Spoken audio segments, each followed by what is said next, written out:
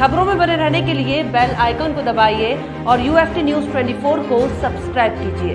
गोला गोकरनाथ लिखमपुर खीरी, स्थानीय कोतवाली से 100 मीटर दूरी पर ओम रस्तोगी ज्वेलर्स के नाम से ज्वेलरी शॉप है। शाम सात बजे के समय ज्वेलर्स शॉप मालिक महेंद्र रस्तोगी अपनी दुकान का शटर बंद कर रहे थे। इसी बीच चोर उचक्के ने ज्वेलरी और नकदी से भरा बैग ले गया।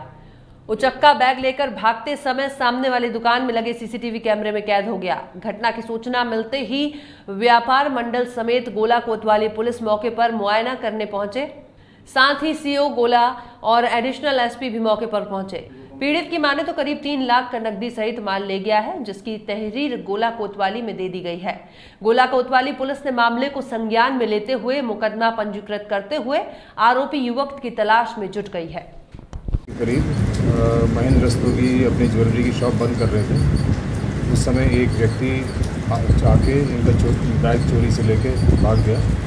इस संबंध में हम लोग मुकदमा कायम कर रहे हैं और जल्दी इसको वर्कआउट करेंगे। तो लगभग कितने का माल गया होगा लगभग उसमें ढाई तीन लाख का माल खरीदा इसमें